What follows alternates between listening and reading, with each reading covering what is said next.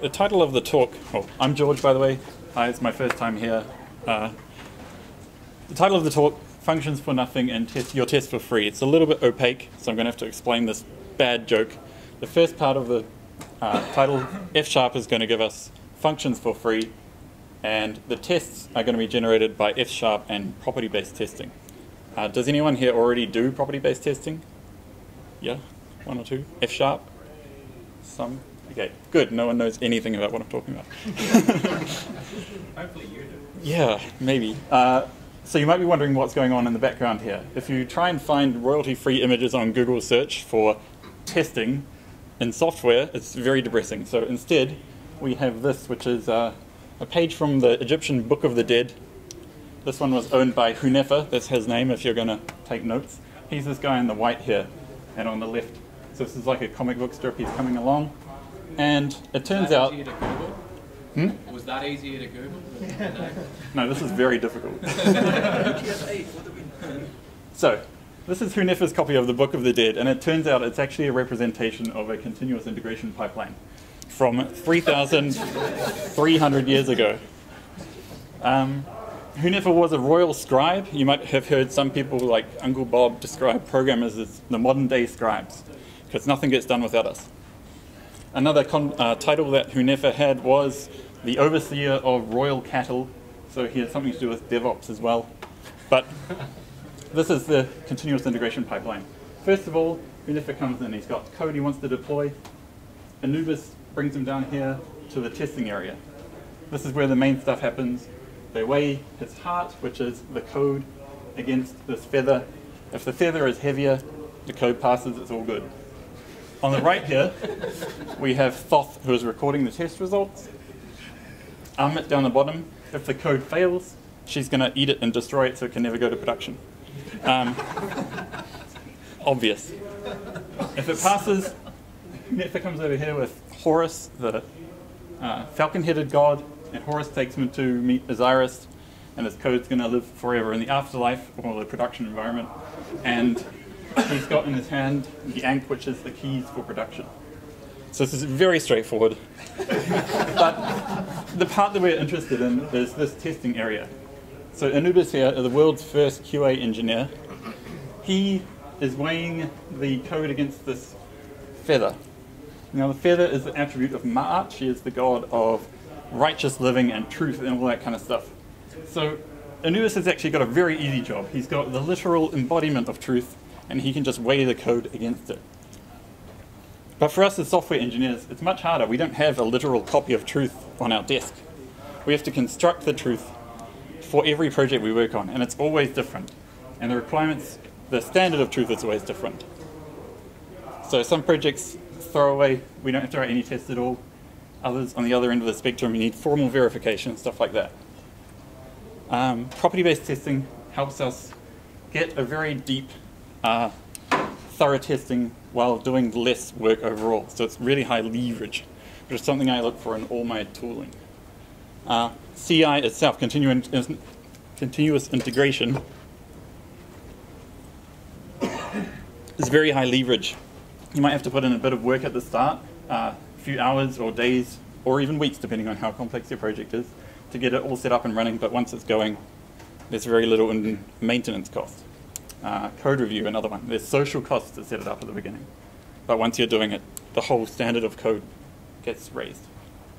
so leverage, putting a little bit of effort and getting a big result out is something I look for in all my tools, and F Sharp is another example, which we'll talk about at the end.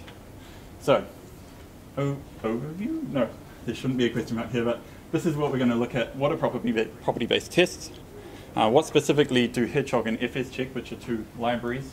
What do they do for us? Uh, how do we apply property-based tests to our own code? What are the patterns that we can use and what are the not to do patterns, or anti-patterns? And then we'll talk about F-sharp for testing and we'll show how it all fits together and how F-sharp works really well with property-based tests. You don't have to be using F-sharp in your main project. You can test C-sharp, you can test your C++ code, or you can test web services remotely. So, what are property-based tests and what is the point of property-based testing? More importantly is ask, to ask what problem is it trying to solve in the first place.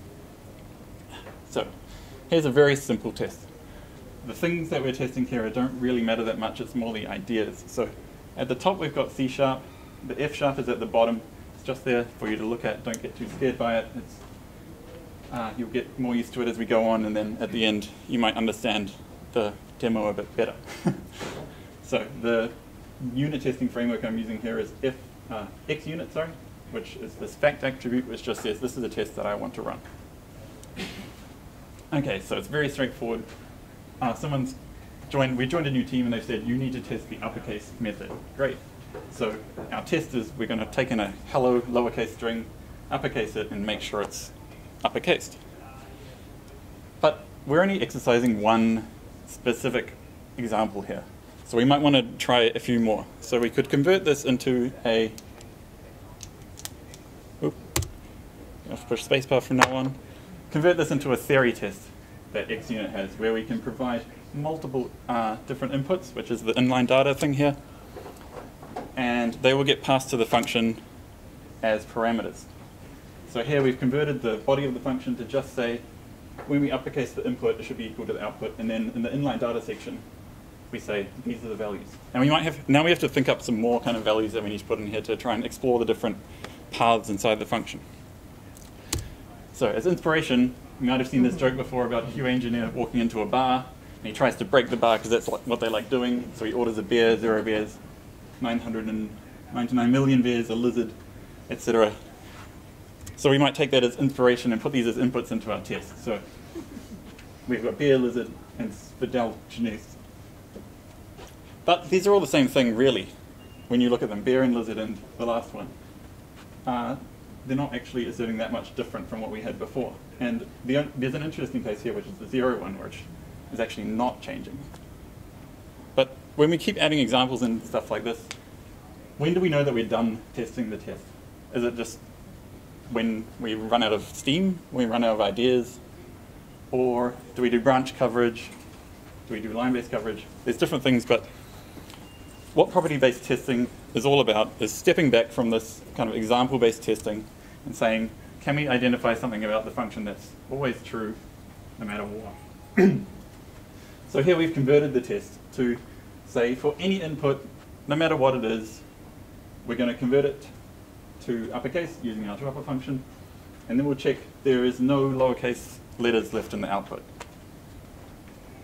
So that makes sense for uppercase. And you'll note that this is not a specification of the function. It doesn't tell us everything about what uppercase does. It's just one property of uppercase, which hence the name property-based testing. and then we should give this function a better name because it doesn't test uppercase fully. It tests one property of uppercase. So we could say there's no lowercase in the ToUpper result.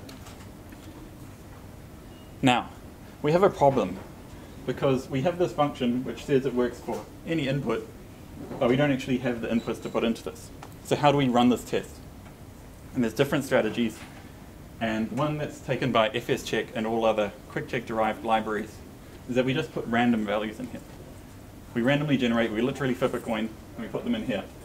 And what we're trying to get here is kind of like an 80% kind of thing. We're getting most of the way there. We're not doing formal verification um, there are other libraries that will do that. So Microsoft has one, used to be called Pex, but it's now part of Visual Studio Enterprise, which will actually look at the implementation of your function on the test and try and generate different inputs that will break it by taking different parts. So that does white box testing. Uh, in Haskell land, there's one called SmallCheck, which is for if your inputs are from a small domain, like it's a byte or it's an enum or something where you can enumerate all the values and test them all uh, then you should just do that, and that's called exhaustive testing. That's what SmallCheck does. But today we're going to be looking at QuickCheck in the derived libraries, fscheck. Uh, there's another more recent one called Hedgehog, but we're not going to look at it to not confuse anyone. so, what do Hedgehog and FsCheck do? As I said, they're libraries for randomized execution of property-based tests. So we kind of separate the idea of property-based testing from how we run them. Uh, oh, just to mention, QuickCheck's been around since 1999, so it's like 20 years ago. Um, and if you don't write C Sharp or anything .NET based as your main language, you can find an implementation. There's one for Python. There's even uh, there's a C version, C++. So what do they provide is a way to generate the input random test data for our tests and shrink it, which is very important. And they also provide integration with the test runner. So if we take our previous example, the way to convert it to run it with fscheck would be to mark it as a property up the top with property attribute instead of fact. And we actually have to mark this string as non-null as well, using the special type that they provide. Otherwise, it would generate null strings as inputs as well as valid strings. And that's all you need to do to get it to run your tests. So, it can do that because it knows how to generate strings. It knows how to generate basically any primitive type, ints, bools, uh, any enum, because it can just select an enum value. Um, if you've got any simple types that only take in other simple types, it will know how to generate them. So if your type has a constructor and it takes two strings and it has strings as properties, it knows that it can put strings in and make your type, and so on recursively. So let's say you had a person and a person has an address. An address is made up of strings. Since it can make strings, it can make addresses, and since it can make addresses, it can make people. And so that works really well. Sometimes you need to customize this though. So you can write your own generators.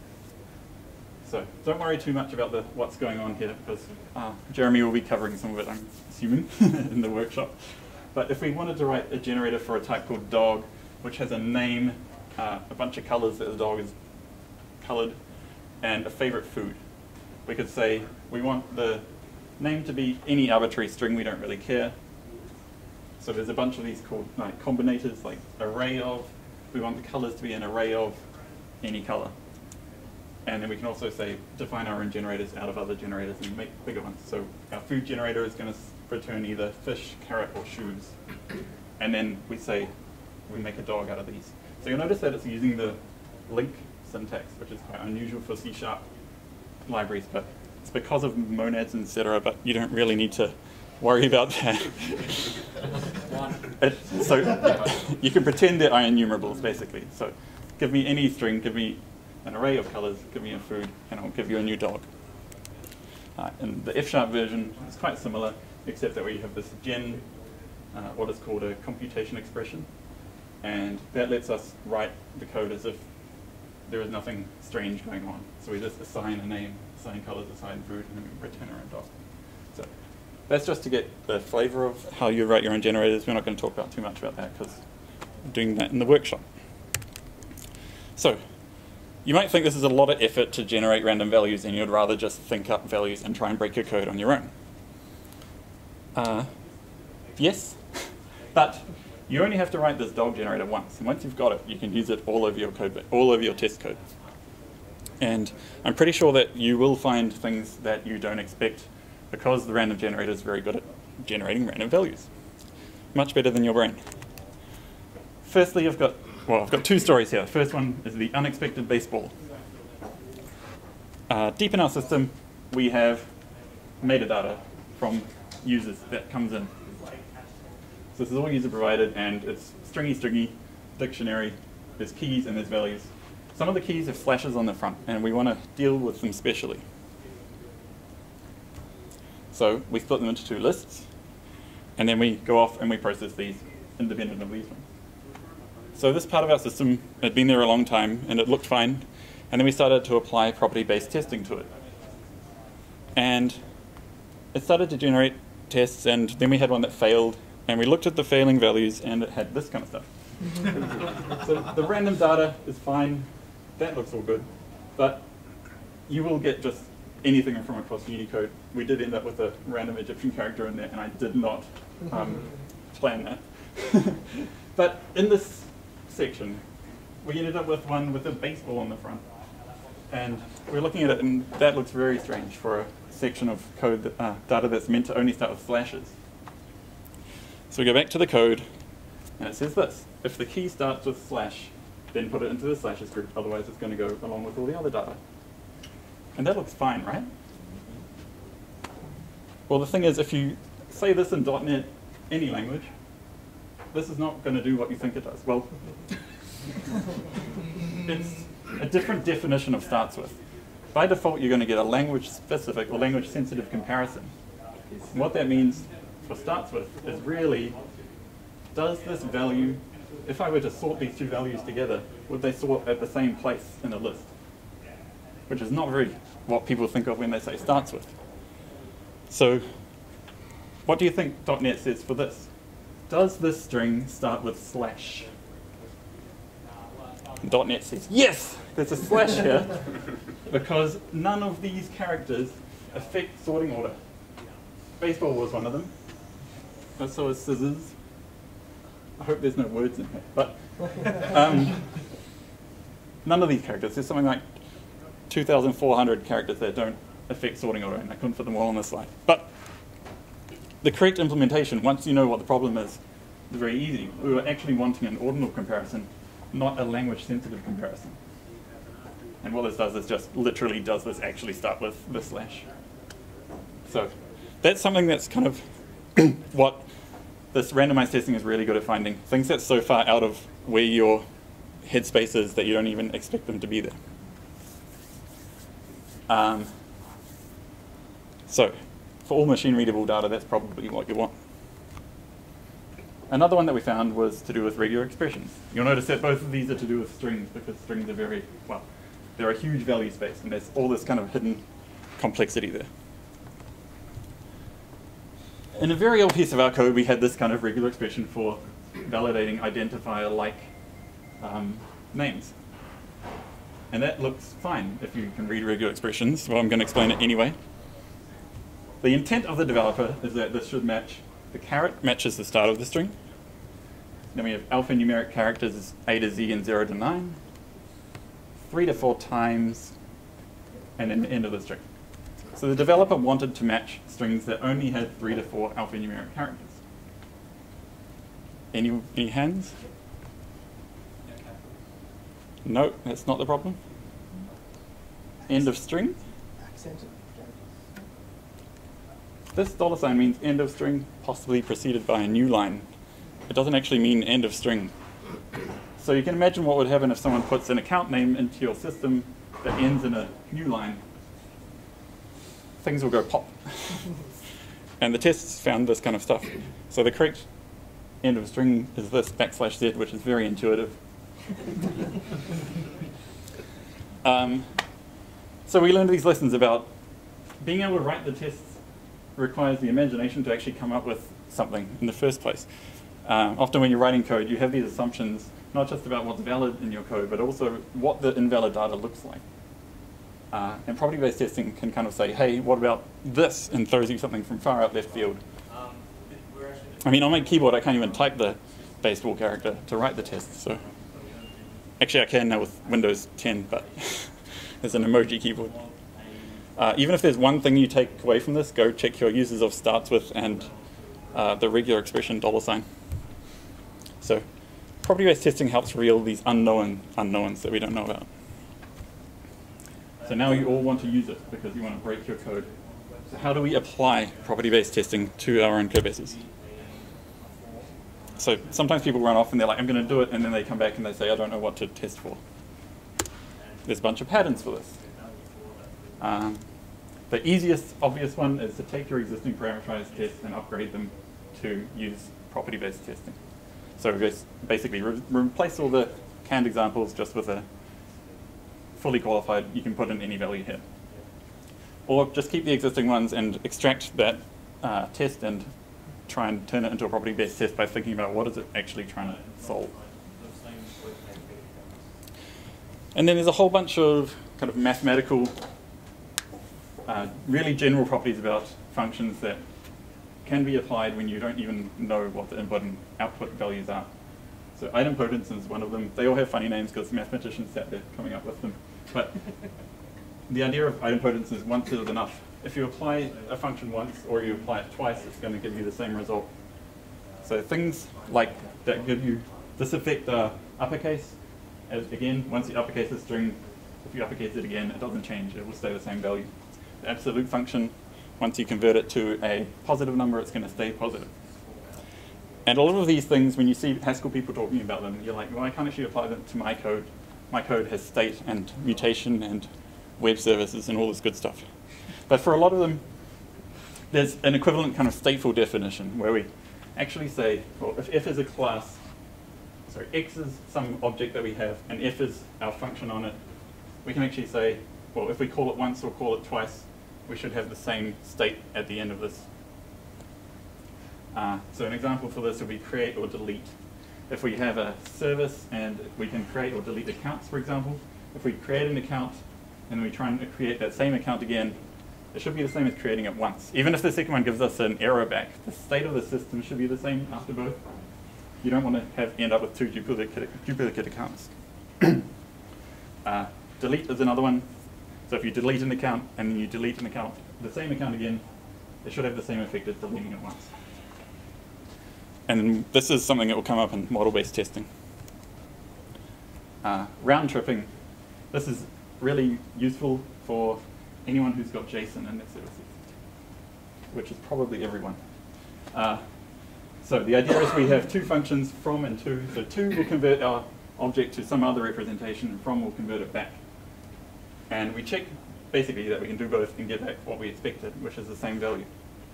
So serialization, really common, JSON, XML, any, any of that kind of stuff. You want to check that you can convert it to the serialized representation, convert it back, and you have the same data. Like none of the properties have gone missing. You haven't got any random defaults popping in.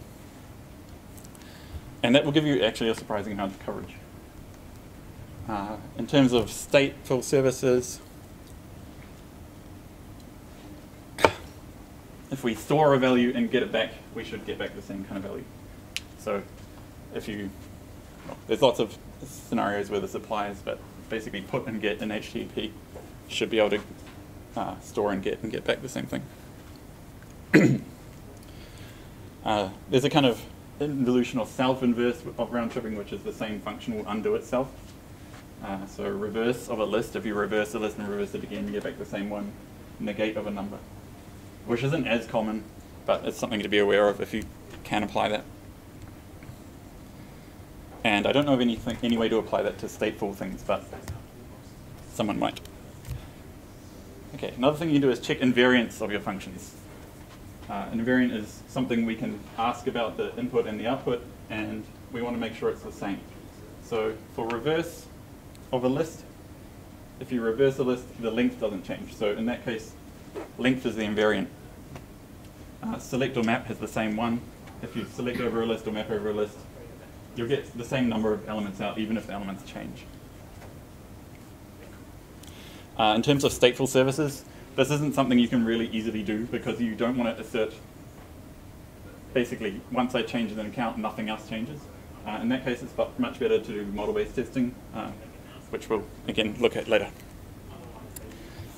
So some more uh, commutativity. If order doesn't matter, make sure you test that. So this might not have been something you've identified in the past, but you can look at a function and say, actually, order doesn't matter, so I should write a property to say that order doesn't matter.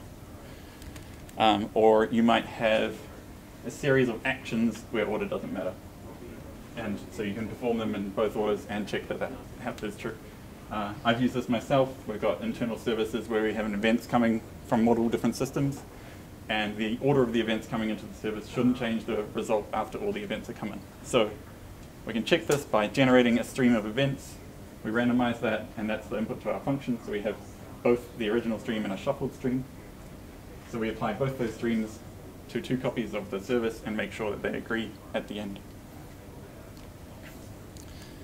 Uh, there's also associativity, which is rarer, but some people are doing uh, MapReduce style workloads where you want to make sure that if you have some operation represented here by pizza applied to three values or more values, if you just scan along the list of values applying it, x pizza y, and then pizza z, and then pizza w, if you're doing distributed reduce, you want to be able to break this up so you can put, say, Z pizza W on one computer and X pizza Y on another computer if they're an expensive operation, and then combine them later.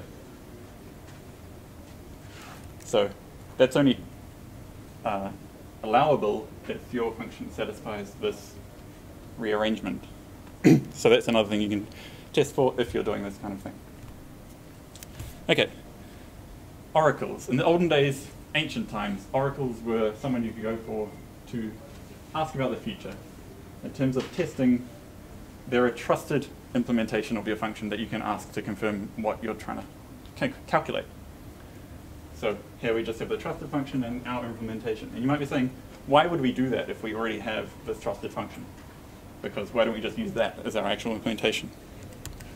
Well, we can use them to uh, verify re-implementations. If we've got some old crappy code that we're rewriting into new shiny code, we can take the old crappy code, put it in the test suite, and say that's our oracle. And the new code has to exactly match every result that that produces. Or optimize implementations. If we know there's a really stupid but easy way to calculate something and a fast but difficult way, write the easy dumb way into the test suite and then write your fast good way into the production code and check that they always match. Um, so the Paket team, I don't know if anyone uses Paket, it's kind of like a dependency manager for NuGet packages and so on. It has a dependency solver in it, and they've got a really good blog post about how they used a brute force dependency solver to confirm that their advanced fast one was working, and it wasn't working, but the, the blog post is good, it tells you about how they did that. and finally, model-based testing. Um, it's kind of like Oracle-based testing, but we don't do, we don't try and implement the full system into our test suite. We pick one aspect, and we only implement the bits that we need to check that, and then we, well, we need some way to describe actions as values, and we randomly generate actions, apply it to all the implementations, and check that all the models match what our service is doing. Um, and that's what we'll be, I'll be demoing at the end, how that works. Anti-patterns. Things you should not do when you're doing property-based testing. Rerunning failures. So this is kind of a bad thing to do even with normal unit tests, but with property-based tests it's especially bad because every time you run them, you're going to get a different set of inputs. Uh, and so if you run it and it fails and you run it again, you're going to get different inputs and you've thrown away the actual case that was important to you. In FS check, you can create a, you can get the seed from the Yes. and you can rerun the test from the seed. Yep. So, yes, in FsCheck you can grab the seed and, hmm? Repeat the question. yes, the report. he was saying in FsCheck you can grab the seed. So when you have a test failure, the seed will appear in the output, and the seed is what was used to generate the random values for your test. So you can then plug that value into your code and rerun it. So if it failed on your CI server and you need to replicate that locally to step through debugging, you can copy the seed into your local code and redo it. But every time you get a specific failure with uh, property-based tests, you should investigate that and then consider, once you've figured out what the bug was, consider putting that failure as an example-based test so that you don't get a regression later on. Maybe like maybe the tests are running really well for ages and then they randomly fail and you're like, ooh, it actually found a really interesting case. Okay, this one could seem kind of obvious. But don't rewrite your real code in your test suite. And this is sounds stupid, but it's really easy trap to walk into without realizing it, um, especially when you're doing validation or trying to test a validation method. So imagine we have a password uh, strength restriction that has to be at least eight characters long, less than 500, has to have a symbol, has to have a number. If you start writing a property to try and encode this, you might go, oh, if it is at least five characters long and less than 500 and has a symbol and has a number, then, well, you've just rewritten your actual code into the tests. Uh, and something you can do instead here is to test the negative cases. So normally your validation is kind of like a, a series of ands that have to pass. So if you invert them all and write them as separate tests, you can avoid this problem. So instead of saying if the string is at least five characters and less than 500, etc., you say, hold on, if the string is less than five characters, it has to be invalid. And that's one test. If the string is longer than 500 characters, it has to be invalid. If the string has no symbols, it has to be invalid. If the string has no numbers, it has to be invalid. So you're kind of doing the opposite. Instead of trying to draw a line around the exact valid values that are allowed, instead just cut off big chunks of what's not allowed. Okay. Uh, something else that which is not obvious when you first start is don't filter input values yourself. So if you have a function that only works when the input values are of a certain configuration, don't do that filtering in your test. Uh, so let's say you have a function that only works when the input is a multiple of pi, or something like that. So in your test suite, you go, if the input's a multiple of pi, then I can run the assertions. That's great, but you're not actually ever going to hit the assertions because it's never going to generate exactly a multiple of pi. Um, so what you should do instead of this is the frameworks, uh, fscheck has got this implies operator that you can use, and you say, it makes the test conditional on the input. So you can say, if the input is a multiple of pi, then I'm going to run this. But the difference is that FsCheck understands this, and so it will know if you're not actually passing the conditional enough. Uh, so if it can't generate enough values to actually run the test, you'll get a test failure instead of silently passing. Uh, and if you do need to generate, if it is failing like that and you need to generate specific values, then think of other ways to generate them. So maybe you generate, if you need multiples of pi, you directly generate multiples of pi by generating integers and then multiplying them by pi, as an example. Okay. and now we're going on to why is F sharp nice for testing? So changing gears a bit. I'm not going to go like F sharp tutorial 101. I'm just going to pick like some of the best features that I found that make testing really nice with F sharp. so first of all, free functions. The compiler gives you free stuff and it's really nice and you have to write less code. This is what it feels like when the compiler helps you. so here's a type definition in F sharp. Uh, this is what's called a record type. It has two fields,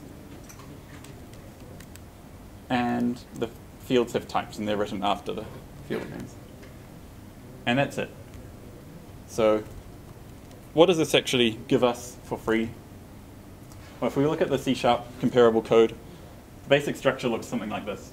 We have rank and suit, and we have some properties of rank and suit, and that's all fairly straightforward. But the F-sharp compiler will also generate us equals. So we know it knows how to compare things for us. Uh, it will implement equals and the object equals, and it will implement get hash code, which I never write. I always ask ReSharper to write this for me because I don't want to mess around with fiddly numbers. And if I ever modify the properties, I just delete this and ask ReSharper to build me a new one. But in F sharp, the compiler gives it to me, so I don't need to worry about that. Uh, it also gives us comparable by default. So I don't, I don't hope no one formats their code in two columns like this, but uh, it implements compare to, and the default is it will compare things in the order you listed them in the type. So for the example here, it's going to compare rank first and then suit. And that's not always what you want, but especially for test code, I often don't really care what the ordering is as long as I can have one, because I want to use it to sort and display values really nicely. So default is almost always good enough for test code. It also gives us toString, which will dump out the properties that we have in our type. And that's really useful for test code. So every time we have a test failure, we'll get the actual values and not just whatever C Sharp is, which I think is just the class name. It's very unhelpful. And once you've got orderable and equatable, you probably also want all operators. So the F Sharp gives us that too. Now we're up to something like 70 lines of code, and that's even with using the shortened function syntax instead of this. So this in a test suite is very good. I can compare them, I can sort them, I can print them out. Everything you want.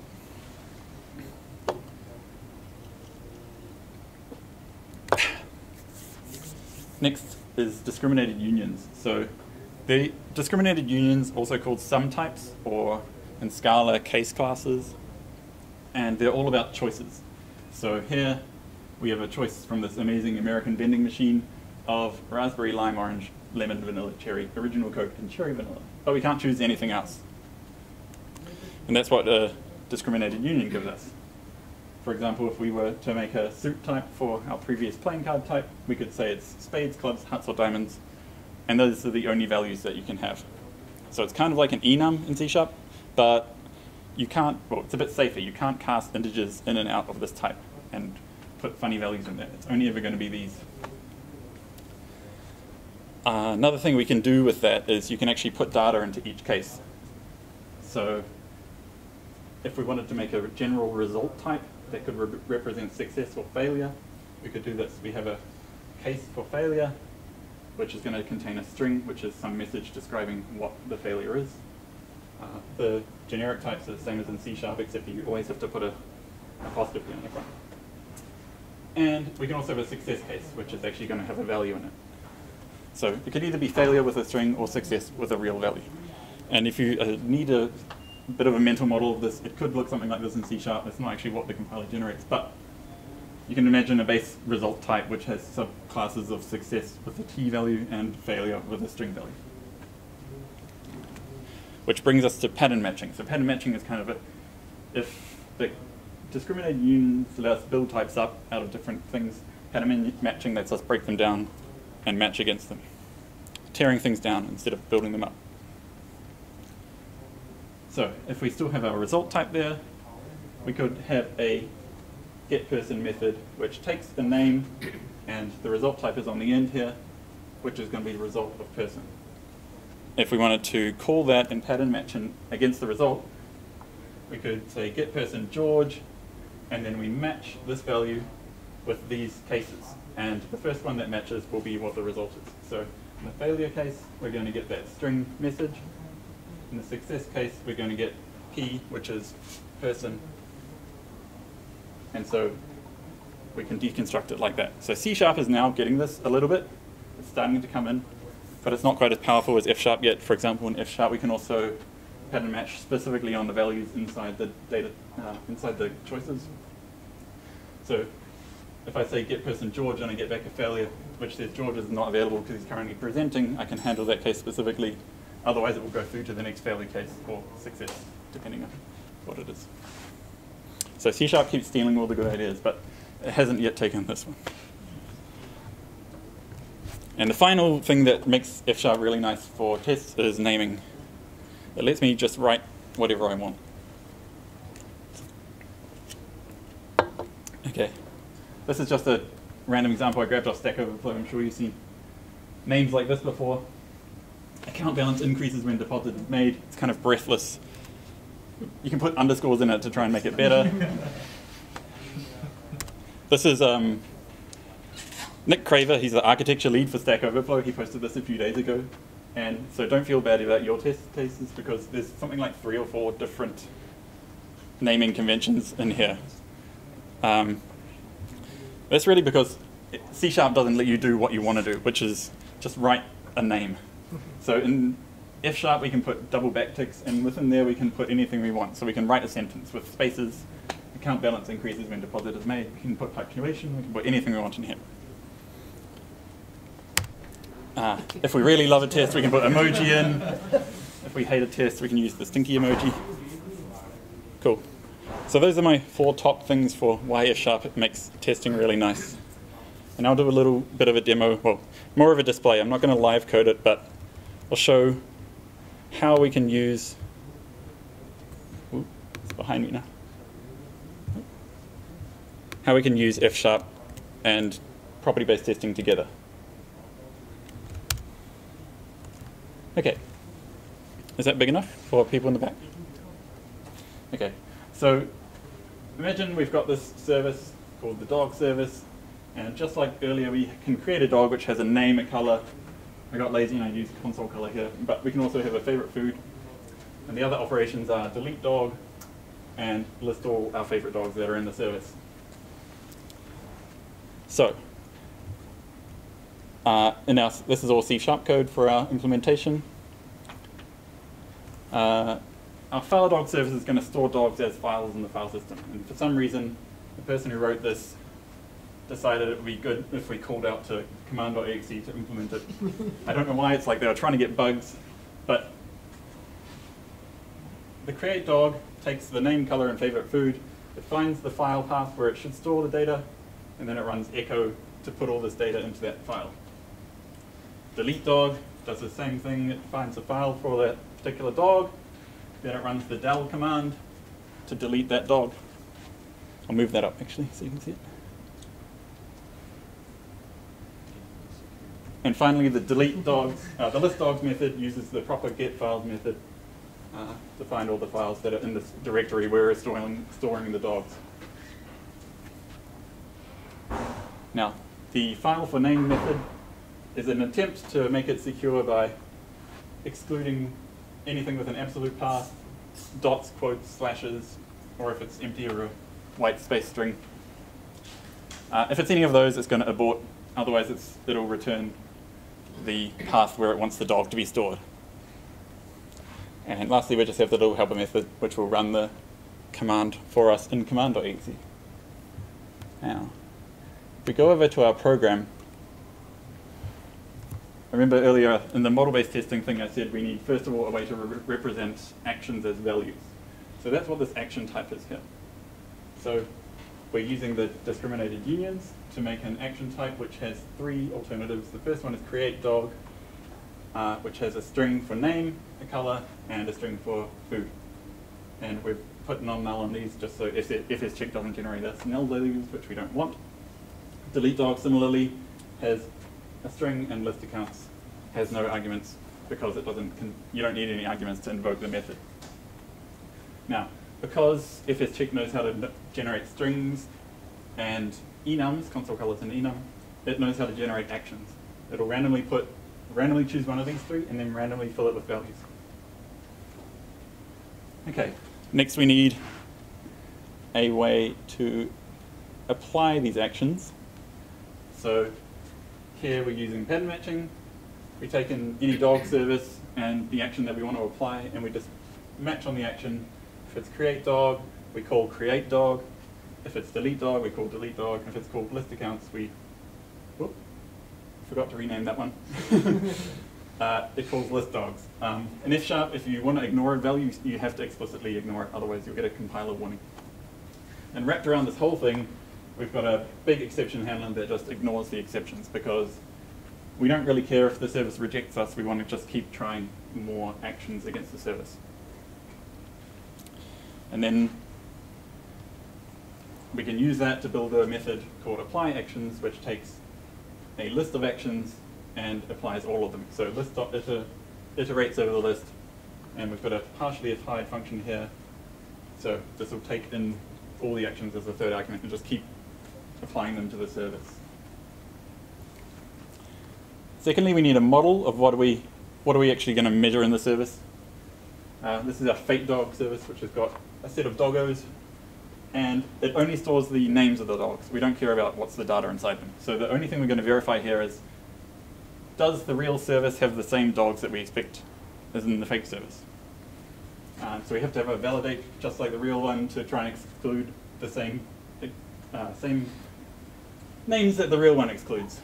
and then the implementation of the interface down here, we have the same three methods, create dog, delete dog, and list dogs. And create dog, we add it to the hash set. Delete dog, we remove it from the hash set. List dogs, we just get the result of the to list method. So we have the way to create actions, we have our fake model, now we can write our property. And we just want to verify that the implementation of our real service matches what the model says. So again, we've got this list of actions, and FsCheck is going to generate this and provide it to us for this method. Uh, temp there is just a helper I wrote to delete all the dogs after, after I finish with them. But the, we've got the file dog service, which is the real one, and the fake dog service, which is our model. So then we apply all the actions in the list to the real service, apply them all to the model, and now we expect both of these things to be in the same state because we've applied the both actions, same actions to both of them. So we get the expected dogs from the model service, the actual dogs from the real service, and then we check the result. And you can imagine we could have any number of models in here. We could write other ones. We could write a class that helps abstract away all the details of running it on each other. So if we then, somewhere, run the test. Where is it? Here we go. Test Explorer.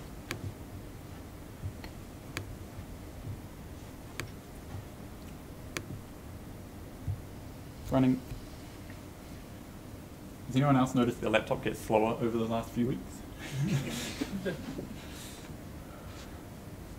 oh, and we've got a failure. So for some reason, the model and the implementation are disagreeing. Now, you can have failures. Your model can be incorrect. So, But in this case, I'll zoom in on this.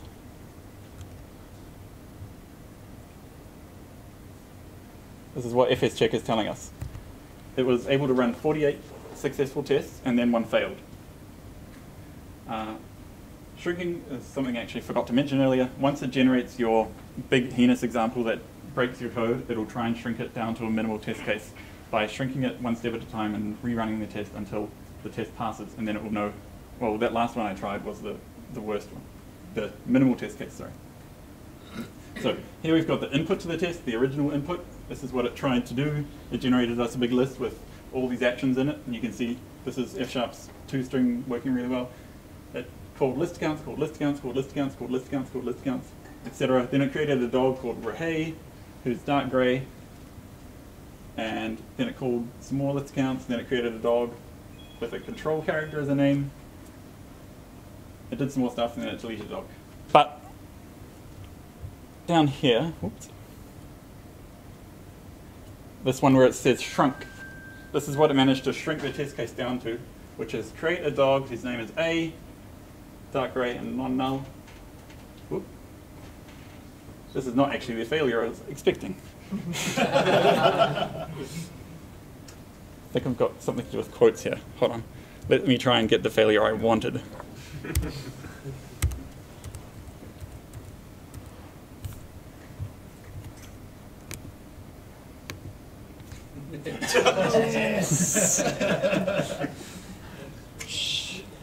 Breaking the first rule, I said. Cut that out.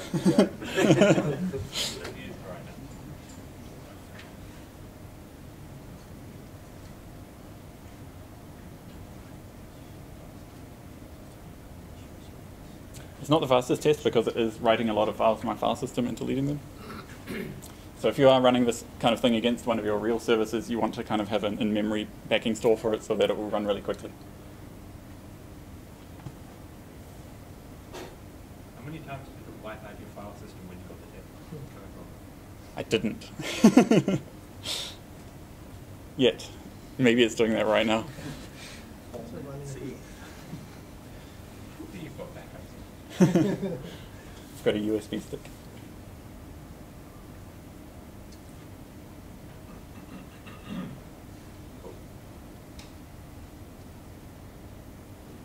Yes, this is a failure I wanted. this is the one I got in every test I ran before now. Um, so, the shrunk down minimal test case that it has generated for us is that we create a dog called A, who is magenta, has an empty favorite food, but then it deletes a dog called Star. And in our model, we should still have a dog called A, but in our real implementation, there's no dogs left. So if we go look at the code, it's kind of obvious why.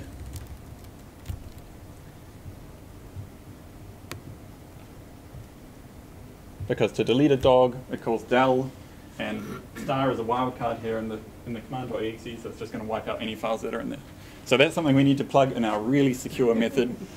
Uh, the other one is if you put a question mark in, that's also a wildcard. So I think that shows how it's really nice to write a model-based test in F Sharp because you can describe the actions and generate them very easily. And that's the final thing. If you want to do further reading, the original QuickCheck paper, paper is, despite being about Haskell, fairly readable. Um, it's got a big discussion section at the end which talks about randomized testing and so on, which is really nice. Um, the packet uh, one about the Oracle for the brute force version version versus the real version is really good. And if you want to learn more about F Sharp, there's a website called F Sharp for Fun and Profit. And they've got two good ones on there. There's a series on property-based testing and also domain modeling made functional, which talks about using F Sharp to describe your domain types. Now, hopefully you're all going to go home in a few months' time. You'll be walking around doing this about property-based testing. Everyone should learn it. Cool, that's it. Is there any questions? What's the confidence level? I write a bunch of tests, roll them, they all pass. Obviously, it's random. Yes, so you need to kind of also, one thing I, question, the- what's the confidence level? Yeah, it depends on how complicated the kind of input domain to the function is. If you've got, say, a function that only fails when the it's a takes in a double and it only fails when the double is equal to some specific value, it's never going to find that, and that's what you need the Pex thing for. But like I said, it's like an 80% kind of thing. Like it gets you al- almost all the way there, and then you can think really hard to try and pick out the last few cases to try and break the function. Um, I so another thing you need to do is when you have written your own generators, you should kind of um, sanity check them and just print out a few of the results. So there's a function that will just generate you like 100. So you can look at them and say, hmm, those, is that good enough? Like you might accidentally be generating 99 empty lists and your function's not really testing anything. So. Yes? Um, you said when it finds like an interesting case, like Mhm. like the baseball or the star there, Yeah. that it might be good to convert that to. I think you said an example-based test. Yeah. Is, is that something within the F? No, so I mean literally just make a new test and put that like back in X as an unit, assertion, yeah. just as a regular unit test. Yeah. Right. just because if you if you've been running the test for a long time and you haven't found any failures and then you do find one, it's probably something fairly specific that you're not likely to run across again. So you need to fix it and encode that as a regression test. Yeah, no, it, it makes sense. So you're going to end up with a set of F- FS spec tests and a set in, in a real system and a set of normal um, xUnit and Yep. whatever. Yeah. Yeah. Have you tried Hitchcock? Hedgehog, yes. I have a little bit. So Hedgehog, for those who don't know, is another uh, property testing library like FsCheck. Uh, it's newer and it takes a different approach to generation. So in FsCheck, generation is always driven by the types. So the types on the function tell you what is going to be generated and put in. But for Hedgehog, you can explicitly ask, I want a string and it's going to be like this long. Uh, whereas with uh, FsCheck, to do that, you'd have to make a new type called myString, which specifically is that length. But, so Hedgehog is a bit nicer for when you need to do um, kind of negative testing, like if you specifically want really big strings or really small strings. Um, it's a bit more explicit, but it's also much newer. Like the C sharp support was only added two months ago by me, so. uh, so it's not quite as polished yet. It's a little bit slower. But I do like the approach of explicitly. Cool. If there's no more questions, I'll hand over to pizza.